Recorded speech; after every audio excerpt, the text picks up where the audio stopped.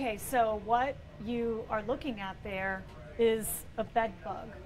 I never thought the day would come that I would start a Facebook Live with a disgusting picture of an insect. But that is, in fact, what we're talking about today here at KHOU. So I am Tiffany Craig, and this is Jeff Keller, and oh. he is an associate certified entomologist. Yes. So we're going to talk about a number of different bugs, but bed bugs will be on the top of the list because here in Houston, they top a lot of lists around the country, right? Yes, yes, we're somewhere in the, the top 10 in uh, bed bug cases. Why is that? A lot of factors. Um, it, the population, one, uh, mass transit has a lot to do with it. Uh, we have a lot of big hotel, motel chains that attract a lot of visitors from around the world. Because bed bugs are hitchhikers, But correct. right? That's kind of the deal with them is that they hop on people and they hop on luggage and all of that. Right. And uh, the reason they they uh, hitchhike on the humans is because they need the the blood meal to survive. Do you know how disgusting that sounds? I was hoping not to be too, but it, that's it's for them to grow and maintain. That's what uh, the blood meal. They, they change from the egg through each instar um, molt that they have, based on the blood meal that they have. Um, I'm going to pull something up just to show people kind of a little bit of what you were just talking about, like the lifespan of one. But in the meantime, one of the big things that we hear at KHOU is people either have them in their home or, more importantly, in an apartment. And question number one is, how do I get rid of them? So talk to people about that. Well, it's highly recommended that you use a professional. Um, people try to do too many home remedies and have failures and get frustration, you know, out of trying to control it. Um, our number one preferred method is heat, thermal remediation, and maybe a combination of some residual insecticide uh, to control that. Okay, so what does that mean? Heat. What do you go in there and do? Heat, we, uh, we bring in some industrial heaters designed to uh, get the temperature of the room 120 to 135 degrees, and we must maintain that heat for six to eight hours in order to get all life cycles, to include the egg, under control. Um, because we're looking at a picture now of, God, this is so disgusting. I'm just going to say that one more time.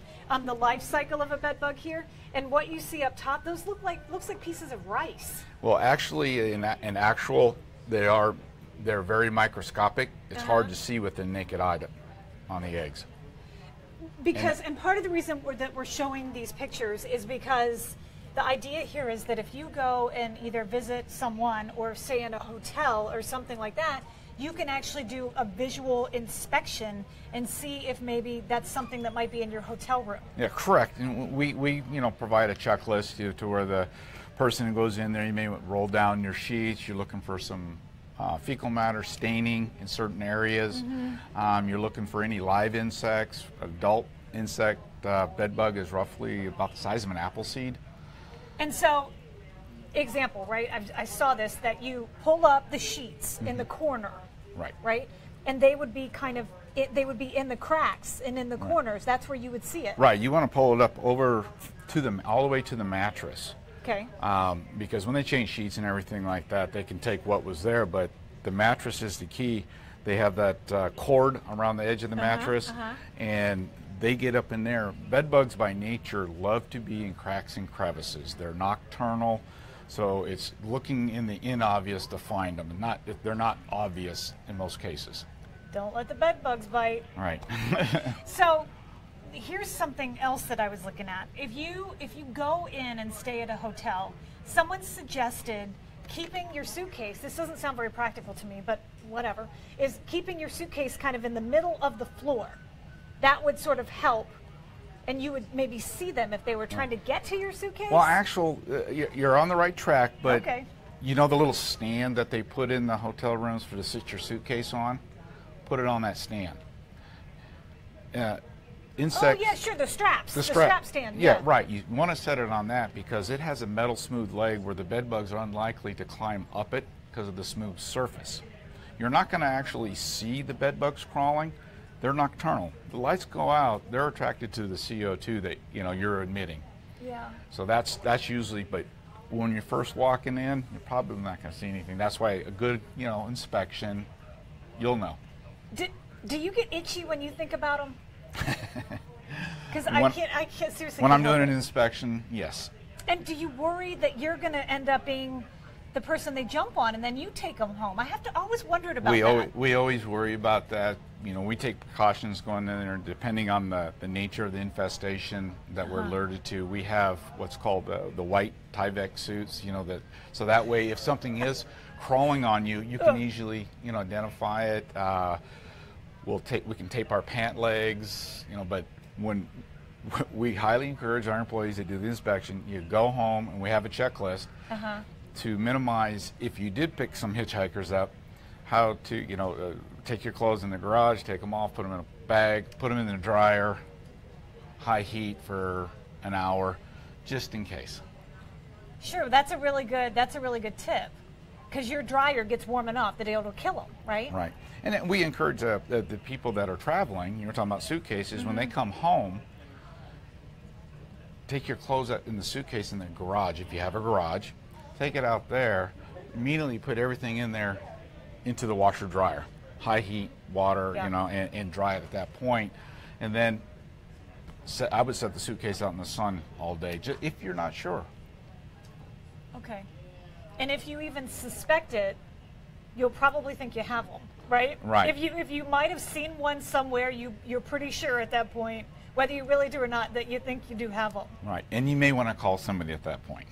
Um, we're going to take some questions. I don't know um, if any of you have any questions at this point, and we're actually we're willing to talk about other bugs as well. But it just so happened that this is Bed Bug Awareness Week, which who knew there was an awareness week? But part of the reason that it's important, especially here in and around Houston, is that it's going to be worse this year for bed bugs. Like, is it? Are we seeing more of them now, and why? We are getting a lot more calls this year already than we did last year, and it's really hard to attribute any one factor, you know, as to why it, except um, travel and and vacationing. You're, you're moving around. It's, it's just with the, this many people in mass transit, it's hard to predict what's where's the hot spot going to be. So I know that you said call the professionals, and you're in the pest control business. Yes. Okay. So and everyone's like, oh, well, that makes sense. Call this guy. But if you are at home and you suspect and you do not have the money, Mm-hmm. because not everybody wa- joining us now um, can afford to pay Mm-hmm. for this kind of treatment because it can run a few thousand dollars. Right. Right. What can you do? What else can you do that's a little more cost efficient?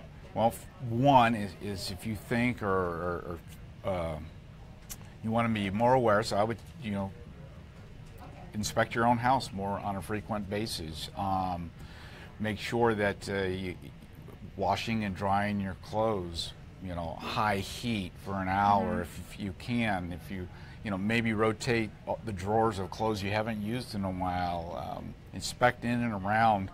Um, your um, surroundings in your uh, your bedroom. If you suspect bites on you, have those looked at. Um, we, we can't identify what bites you, you know, as far as tell you what kind of bite is on you, but maybe a dermatologist or somebody like that. But But you've been around them enough to probably know, you know, But- sort of what a bite looks like from a bed bug. All right. Uh, bed bugs have a distinct eating pattern. Um, and they're nocturnal, and, and they feed once they've uh, found a host, so to speak. Uh-huh. And you, they they only feed for minutes, you know, to get their blood meal, but they leave a distinct pattern um, where they because they they don't just stay in the same area like a mosquito. They move around, and they're very sneaky, smart. That once you, if you move, you know, whatever, they stop their feeding. Wait till everything settled down, then they'll f- start again once, you know, you're asleep. That's one of the reasons, you know, when, when you're least active, they're more likely to bite an individual. Okay, okay. So um, now Chrissy doesn't have a picture, but she's asking a question, and uh, let me just ask it and see what happens. I have the tiniest, tiniest bug in my bed, and it's coming in through the window. What could it be? It could be numerous, you know, uh, if it's a crawling insect, you know, coming from the outside, I highly doubt a bed bug, um, but it could be a, it could be an, an ant. It, it, it could be you know one of several you know hundred insects in the area. Best thing, take a picture, send it to us, and we can ID it. And where would people send that? They can send go to our website, um, holderspestsolutions.com. Say it again and say it slowly Uh, so people get it. holderspestsolutions.com. They can take a picture. Um, there's you can go on there, ask the expert. Uh, you can uh, send it to the come bring it bring a sample to the office. You know we, we have walk-ins all the time. Um, Gracie says Houston must really be infected with them in order for this awareness to take place in the newsroom. Well, Gracie, it really it's a it's a thing, and I, I say that I work in the consumer department, and I kid you not when I say multiple times a week we get either calls or emails from people who live in apartments and say, "I've got bed bugs. What do I do?" So we know it's a it's an issue. We know it's a big issue, and then people that stay in hotels and motels, same complaint. And the problem is when it comes to apartments is, well, who brought them in and who should be responsible for them? Right. A lot of times that's a really difficult thing to figure out. And that's a lot of things we get asked ourselves, you know. And if, if you look back at the history of the bed bug, they were totally, almost totally eradicated during World War II. They were almost all but wiped out of the United States. Mm-hmm. But the pesticide practices back then are a lot different than the pesticide practices we have today. Back then, we were putting DDT and other chemicals directly into our beds, sprinkling, uh, you know, Yeah. on there to control them. Yeah. Um, there used to be uh, products made here in Houston labeled for bed bugs on you know those old mosquito sprayers Yeah. that have you know they're labeled to spray everything down in your house. Well, technology, chemistry, uh, EPA, and control, you can't do that. Mass travel has all brought a big comeback to it, and it's making it harder. And the reason we have the awareness week is it's a, it's through the National Pest Management Association. It's a worldwide issue.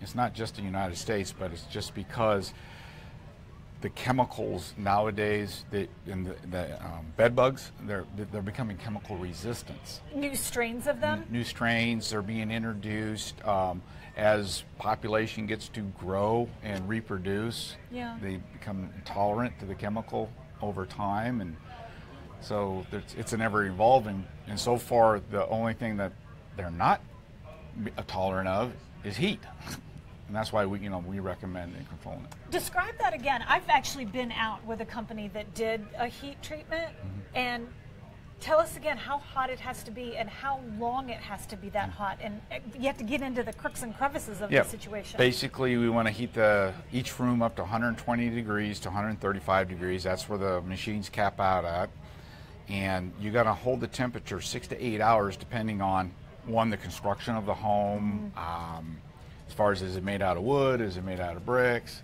We call the clutter factor. As far as is, is there a lot of obstruction in there to keep the heat? Once we get it up to temperature on all our, they're monitored by a computer. Once all our sensors are up to the current uh, correct temperature, then we turn on fans. And these fans are placed throughout key areas to force the heat into those cracks and crevices where bed bugs are known to harbor. that sounds expensive, Jeff.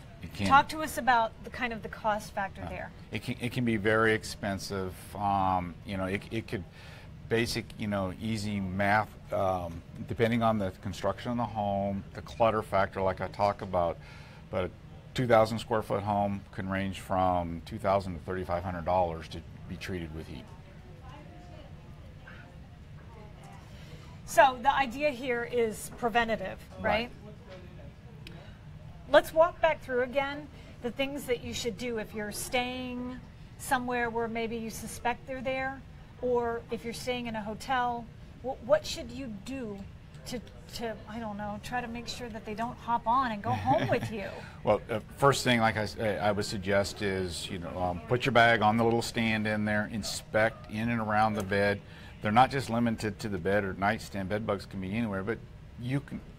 Um, there's key signs that we're looking for. We're looking for uh, old staining, blood staining, fecal matters, but you know, in and, in and around the mattress, um, opening the drawers, you know, of the nightstands, you know, looking in there. In the cracks? Would they mostly be in the cracks? Could be. Uh, Okay. looking around the headboard, um, you know, behind the headboard, you, you know, feel around. I know you, if you do find one, you may squish one, but uh, if there's like a painting above the headboard, you may, if it comes down, you may want to look behind that because they, they will hide wherever they feel safe. But you know, just be aware. Uh, up the wall behind Yes. a painting. They can't. Yes, we. Depending on the infestation, they could. You know, one one of the things that we try to do is educate um, some of our, our clients that ha- that are hotels, motels, you know, uh, associations like that, is how to identify when housekeeping is in there to help. You know, so they can take immediate action and notify us to come in there and get it when it's small problem Yeah. and not a big problem. Um, so, some uh, Gracie suggested um, people have their at-home remedies. Right. Now, w- whether or not they work long term or, or you know, so Gracie says spray the blue fabuloso with alcohol every other day. Kills all kinds of bugs. That's her remedy for it. Blue fabuloso. Uh, alcohol-based products, yes, when sprayed directly onto insects, will kill them. The problem with bed bugs are, is they're in cracks and crevices. They have microscopic eggs, and that's the part where the chemical doesn't ever get to, is the eggs. Yeah. And so that's where you know, a lot of the home remedies just don't uh, help there. But yes, directly on insect, I agree, it will kill them. We're going to jump to. Somebody said, "Can you carry a, raid, a can of Raid to hotels?" I guess you can. I'm not sure. Would Raid kill them? Well, I guess if you sprayed directly on them, If you spray, it would kill them. Correct. Yeah, if you spray directly on them, again, then you would be up all night, and it, that's Would you that's really the, want to sleep on that bed? if it, it, it what I suggest if you suspect or you think that they're they're there, I would notify the front desk. Let's move, or let's check out. Sure. Um, and you know what? You have a phone with a um, with a flashlight on it, right? Mm-hmm. And so you can look into all those little areas when you go into a hotel. Mm-hmm. And you know what? You got a camera on there. Take a picture and take it down to the front desk and say, "Hey, look, this is what's going on in our room." And you could research Because it ends up becoming your problem if you take it home. exactly, and you Oh. could research online if anybody's ever had complaints there before. You Yeah. know, you could uh, find out. Basically, the law states that they can't knowingly rent you a room that has bed bugs Mm-hmm. without telling you. So, it, but if they've ever had complaints before, I, you know, I'd beware. Well, and that's what somebody said. Um, hey, if you know of a place that has them, post it so we'll all know. but on the flip side, though, they can be killed. I mean, you can Yes. get rid of a bed bug infestation. Yes, you can. Okay. Yes, you can. Right. So somebody asked about bleach. Debbie says, would bleach kill them? Direct contact, yes. Direct contact, and that's the trick. Is that um, if it was that easy and it was just direct contact, but Right. they're going to be hiding, especially when they know you're coming. They're It- it- hiding. exactly. All right, so we know that's a problem in Houston. Are there any other large, I mean, other than mosquitoes? Because we know mosquitoes are they're here already and they're only going to get worse, right? Right. Yeah. One thing about uh, you know um, Houston area is it's 24/7, 365 um, pest of some sort, and it different situations. Uh, one of the biggest things, you know, I was saying uh, we have a roof rat population explosion going on in the in the Texas area. Hold on a second. Did you say roof rat? Roof rat. Oh goodness, I'm not sure I can handle much more. um, when did that happen? Uh, it's been going over slowly over time, but um, within the last 10 years, it's exploded. And just because of the nature uh, of the rat and how they live and what they eat, they're very hard to control if not done correctly. They're very smart. Does Holder's Pest Solutions handle roof rats Yes, as well? we do. Yes, we do. And I'm just curious, how do you handle that? Well, one thing, a good thorough inspection, um, find out where they're uh, located at in there, and you got to take the fight to them. You can't wait for them to come put a trap with the peanut butter on the floor because they're roof rats, so the, most of their stuff's going to be up high. So they'll come down to feed, yes, but they're pretty smart. Once one trap goes off, they become what's called trap shy. But you got to you got to take the you got to get up in the roofs and the rafters to, to really get after them. Um, somebody here says, hang on. They call, they had bed bugs one time. They called their be- their bug guy and had to treat one room three times. We caught the infestation early and got rid of them, but it took two months. They can be difficult to get rid of. If you catch them early, you have a bigger chance of not having them come back. Right, and that's usually what happens in your straight chemical application type control methods. Yeah. Um, because you have the different life cycles, and the main what, what uh, some pest control operators will do is do a service like one every seven to 14 days because of the life cycle and the egg laying and egg hatching. And so that's a period of time. But if they keep getting callbacks, it's because it's usually because they can't control the eggs. Okay. Okay. Um, somebody says if I have them at my house and I go and visit somebody else, or vice versa, it's not a guarantee that you're transferring them from one to the other, but it's certainly a possibility. It, it's a high possibility, but you know, like you said, not a guarantee. It's just if you're at the right place at the wrong time when one gets on you. You're itching a lot. Well, it just it really does give you kind of heebie-jeebies when you when you think about it, because um, like what what purpose do these things serve in life? And none. I mean, what what are they here for? Is what I guess my thing. I'm going to pull up this. Uh, well, my computer has just gone to sleep on me. But say we can go back to ancient history. They they were actually, we can, maybe we can look at it back over there again. So, what are they here for? well ancient history. Okay. Uh, bed bugs uh, were in caves. Um, they have a close cousin that we know uh, called the bat bug. Looks similar, but just a little difference on identification under the microscope. uh-huh. But where did we come from? Way back when, cave dwellers. Um, so they, they feed on blood. That's the only thing that they feed on. So as humans moved out of the caves, bed bugs were spread, kept being spread. Um, there's certain corners of the world where limited humans have been. Now there's more humans moving around. So it's it's it's just it's been an ongoing issue.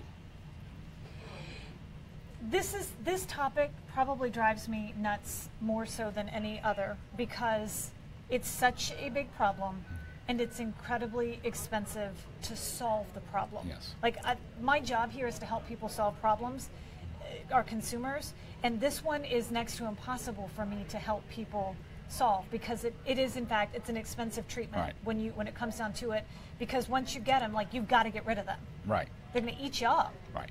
Well, you know, I don't say a good thing, but um, it people are more troubled by the, the mindset because everyone associates bed bugs with being unsanitary. They do you're right. But that's not the case. They don't they don't care if you're rich, poor, clean, dirty. It's just Two star hotel, five star hotel, it doesn't matter. Correct. And the, the, the expansion is just because here lately they have, and it's more because of the, the restrictions to the type of chemicals that we've been using for the last 50 years, eh, them become tolerant, you know, to it. So it's, it's made more of a challenge. Mass transit in the last 30, 50 years have really opened up the doors for them. Um, Nikki, no, sorry. Uh, Ruben wants to know: Do they attach to electronics? Do they get into electronics? Uh, y- yes, and, uh, and the reason that happens if you have like let's say a radio clock next to the nightstand, or you know a couch that you know someone frequents quite quite often, they have cracks and crevices. Bed bugs like cracks and crevices. It has nothing to do with the warmth or the electronics. It's just that usually on every electronic device there's an opening for air to go through, so they can go into any one of those holes. So that's where you got to be chemical. You can't spray chemical into those. Yeah. So that's that's where you know on the heat you can force it into that. Oh, Jeff, this um, this is a tough one. This is a tough one. So I guess the kind of the takeaway from this is, um, hopefully, very few of you have them now, but but just be on the lookout. Like this is seriously a case where you should look around. If you're staying somewhere, you're putting your stuff down wherever it is that you are. Look around and and and make sure that you're not grabbing any hitchhikers on the way out. And when you when you come back home and you want to you know take that extra step, change the clothes in the garage, put your stuff immediately in the washer and dryer. And when they're in the dryer, um, how long do they need to stay in there? Depending on the setting, um, they're, they're all different, but I would say a high heat for you know at least an hour. That's a long, yeah. People will probably do it for two just to be sure, yeah. right? Yeah, yeah. Um, so Jeff Keller, thank you so much. Um, it's a it's a really disgusting topic, but it's a very important topic, and we appreciate your expertise. Well, thank you very much. I appreciate it, and look forward to more. Yeah. Thanks, guys. Thanks for joining us. Not more bed bugs though. Uh, I can't.